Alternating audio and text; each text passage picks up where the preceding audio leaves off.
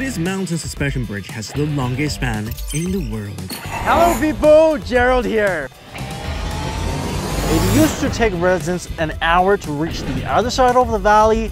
Now, with this mountain suspension bridge, the drive only takes a minute. The Jin'an Jinshajiang Bridge is the mountain suspension bridge with the longest span in the world.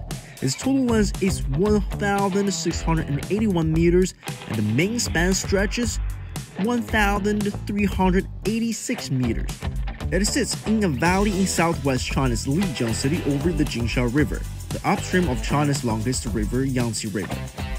Local mountainous terrain has made it a challenge for local villagers to travel outside the region. People used to drive on hilly roads that were subject to sudden rain, storms, or heavy winds. The Jin'an Jinshajiang Bridge opened to traffic by the end of 2020. Improved connectivity has been helping villages grow their economy.